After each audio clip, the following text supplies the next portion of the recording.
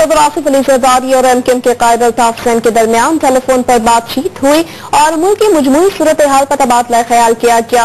M came کے مرکز سے جاری اعلامیے کے مطابق ٹیلی فونک گفتگو کے دوران الطاف حسین نے صدر زرداری کو وطن واپسی پر خوش آمدید کہا اور خیریت دریافت کی۔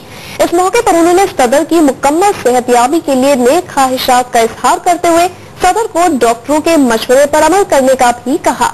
صدر زرداری نے بھی الطاف حسین کی خیریت دریافت کی اور دوران علالت، نیک اور مثبت جذبات کا اظہار کرنے پر الطاف حسین کا شکریہ ادا کیا۔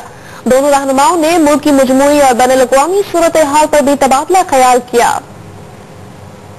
وزیر داخلہ رحمان ملک نے ایم کیو ایم کے قائد الطاف حسین کو ٹیلی فون کیا ہے، جس میں ملکی سیاسی صورتحال پر تبادلہ خیال کیا گیا۔ ایم کیو ایم کے قائد نے صدر کی واپسی کو خوشانت قرار دیا۔ الطاف حسین کا کہنا تھا کہ سیاسی مفادات سے بالا تر ہو کر اتحاد اور یکجہتی کا مظاہرہ کرنا وقت کا تقاضا ہے۔ وزیر داخلہ نے کہا کہ الطاف حسین نے جمہوریت کے لیے جو خدمات سر انجام دی ہیں، انہیں کبھی فراموش نہیں کیا جا سکتا۔